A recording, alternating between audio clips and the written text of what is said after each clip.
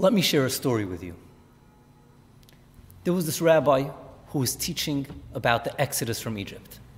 He was teaching his students, his class, how God brought the 10 plagues on the, on the people of Egypt.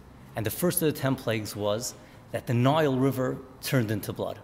And he was describing how this gigantic river turned into blood, a miracle.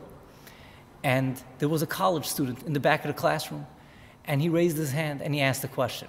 Very simple question Rabbi, do you believe that? Do you believe that the water turned into blood? And the room was silent. And the rabbi responded with a question.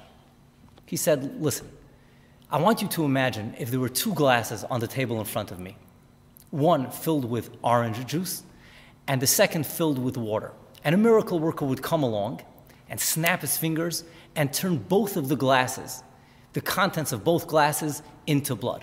Which of these two would you consider a bigger miracle, a greater miracle? And the student said, It's simple. The orange juice turning into blood is a greater miracle than water turning into blood. Because after all, blood is water with some other substances in it. But orange juice is a completely different substance, has nothing to do with blood. And the rabbi told the student, Well, do you know that orange juice turns into blood every day? And the student said, What are you talking about? And the rabbi said, Very simple. When you drink orange juice, what happens? And the student said, Hey, you know, you're right. It turns into blood. Now the rabbi said, I have a question for you. How does orange juice turn into blood? How does it happen?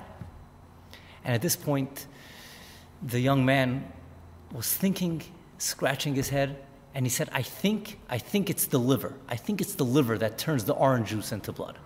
And the rabbi said, You're right. I could tell that you listened to your biology class, but I have one more question for you. Can you please tell me how it is that the liver turns the orange juice into blood?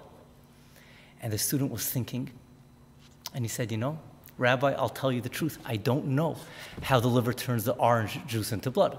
So the rabbi said, Please don't feel bad that you do not know.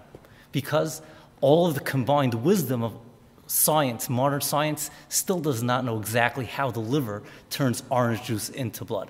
But you can be sure that whoever knows how to turn orange juice into blood knows how to turn water into blood.